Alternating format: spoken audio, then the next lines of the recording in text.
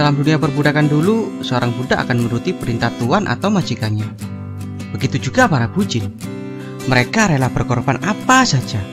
Harta, jiwa, dan raga. Di zaman sekarang ini banyak sekali para bucin yang bertebaran. Contohnya ya, aku sendiri. Mantan seorang bucin. Kalian bisa panggil aku Prapto. Gila, kuno banget namaku ya. Dan kisah ini terjadi beberapa tahun yang lalu. Yos, cewek yang aku bonceng itu pacarku. Namanya Sarah. Gak tahu kenapa aku demen bedah sama dia. Di mana ada Sarah, di situ pasti ada aku. Nempel-nempel dah kayak perangku. Dan saat ini aku mau nganterin dia kuliah. Ini merupakan aktivitasku setiap hari. Kebetulan tempat kerjaku juga satu jalur sama kampus Sarah. Aku bekerja di salah satu perkantoran elit di kotaku. Gimana? Keren banget bukan? Prapto, sebentar lagi ada tamu dari Jerman. Cepat pel semua ruangan. Siap bos. Ya, meskipun sebagai office boy, tapi jangan kalian hina pekerjaanku.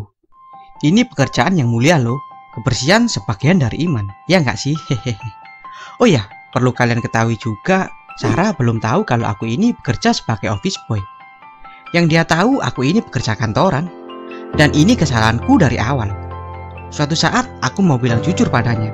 Tapi untuk saat ini jangan dulu dah. Setelah enam bulan pacaran, ada kabar mengejutkan dari Sarah. Bahwasanya dia nggak bisa melanjutkan kuliahnya.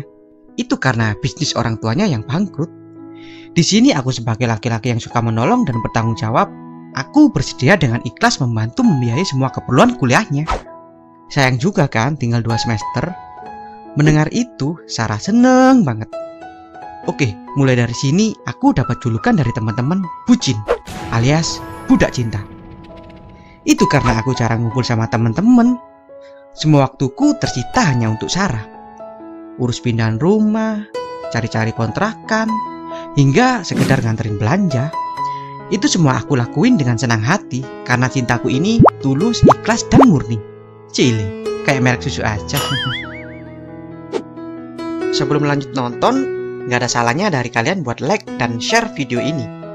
Mohon dukungannya agar channel ini dapat berkembang dan memberikan video-video yang menarik buat kalian. Oke lanjut. Ngomong-ngomong soal bucin, aku tidak hanya bucin dari Sarah saja. Aku juga bucin di pekerjaanku, alias budak Cina. Itu karena aku kerja ikut orang Cina. Buat kalian yang kerja ikut orang Cina, pasti tahu kan gimana rasanya? Ketat banget.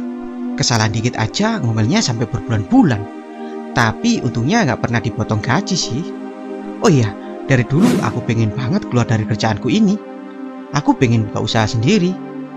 Tapi uang tabungan buat buka usaha semuanya habis karena biaya kuliah Sarah. Asalkan tujuanku baik, Aku yakin suatu saat pasti dibalas dengan kebaikan juga. Satu tahun kemudian, aku lega. Karena Sarah udah lulus kuliah. Seenggaknya tanggungan buat biaya kuliah udah beres. Dan saatnya menabung guna menggapai cita-citaku buka usaha laundry. Beberapa hari kemudian, Sarah ngajak jalan dan dia mau kasih kejutan ke aku. Waduh, jadi penasaran. Kejutan kayak apa ya? Sarah memberi kejutan kalau dia sekarang udah diterima kerja. Alhamdulillah. Lihat Sarah seneng, aku juga ikutan seneng. Dan tempat kerjanya satu kantor sama aku. Nani? Aku belum bilang ke Sarah kalau aku hanya seorang office boy. Apa dia masih mau kalau tahu aku seorang office boy? Apa aku ngomong sekarang aja? Nggak, nggak, nggak. Aku nggak akan ngomong sekarang. Biarkan ini mengalir seperti air. Hari pertama kerja, si Sarah berangkat bareng sama aku. Dan aku merasa deg-degan Gimana ya ekspresi Sarah kalau tahu aku seorang office boy? Apa dia mau terima aku apa adanya? Atau malah pergi cari yang lebih dari aku? Hari pertama masih aman, mungkin dia sibuk training-training masalah pekerjaan gitu. Hingga satu minggu kemudian, Sarah lihat aku, lengkap dengan seragam dan senjata aku. Prapto? Sarah, aku bisa jelaskan. Tapi Sarah pergi ninggalin aku. Hmm, mungkin dia malu atau kecewa sama aku. Aku berusaha menjelaskan semuanya. Ya, lewat WA. Tapi WA dan semua media sosialku diblokir semuanya. Apanya dengan masalah seperti ini dia tega ninggalin aku? Apa dia nggak lihat perjuanganku selama ini? Kejam bedah, namanya juga wanita. Sensitif banget kayak kulitku yang terserang panu. Hmm. Setelah tahu semuanya, Sarah nggak mau berangkat sama. Dia lebih memilih naik angkot atau ojek online. Bahkan di tempat kerja, buru-buru mau nyapa. Lihat aku aja, dia enek. Nasib, nasib. Hingga satu bulan kemudian, masalah ini tidak kunjung selesai. Sarah masih kuku dengan keegoisannya. Oke, Vic. Wanita seperti ini tidak bisa diajak rumah tangga yang baik. Meskipun tanpa ucapan atau kata-kata putus darinya, udah, aku anggap hubungan ini berakhir. Vic, kita putus tanpa kata. Kebetulan perusahaan tempatku kerja ada sebuah program. Program itu namanya Proras. Jadi Proras ini adalah sebuah program di mana semua karyawan berhak mengajukan pengunduran diri atau pensiun dini dan uang pesangonnya setara dengan di PHK. Dan aku adalah orang pertama yang ngajuin itu. Aku lebih baik mengundurkan diri daripada kerja tapi nggak bisa fokus sama pekerjaan. Dan syukur karena aku kerja di sini lebih dari tujuh tahun, uang pesangonku lebih cukup kalau buat usaha laundry. Dan yang lebih penting, aku bebas dari kebucinan ini. Setelah mendapatkan uang pesangon, aku pun membelanjakan kebutuhan usaha laundryku. Mulai dari mesin cuci, serikaan, deterjen, pengarum baju, dan yang lebih penting adalah tempat. Aku menyewa tempat yang benar-benar strategis. Hari demi hari, usaha laundryku pun semakin maju dan berkembang.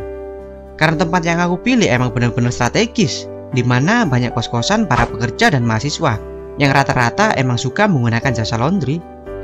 Satu tahun kemudian, Alhamdulillah omsetnya per bulan melebihi penghasilanku semasa kerja jadi OB. Aku pun semakin giat bekerja. Hingga yang awalnya cuma sewa ruko, akhirnya aku bisa beli ruko dan menambah karyawan yang semula cuma satu, sekarang jadi tiga. Sampai suatu ketika aku bertemu dengan Sarah di tempat laundryku. Dia sedang mengantarkan temannya. Awalnya, dia mengira aku hanya pegawai. Anggapan dia pun segera aku patahkan. Dan dia pun terkejut dengan apa yang terjadi denganku saat ini. Dia bilang sekarang udah gak kerja lagi. Itu karena kontraknya nggak diperpanjang. Nah guys, apa pun kerjaannya kalau kita ngejalannya secara ikhlas dan senang hati, insya Allah akan dipermudah kok semuanya. Rezeki itu sudah ada yang ngatur. Terus jangan anggap sebelah mata kerjaan seseorang. Seburuk-buruknya kerjaan, asal itu halal, insya Allah dapat memenuhi kebutuhan kalian kok. Oke, begitulah sepenggal ceritaku. Semoga dapat menginspirasi dan bermanfaat bagi kalian. Terima kasih.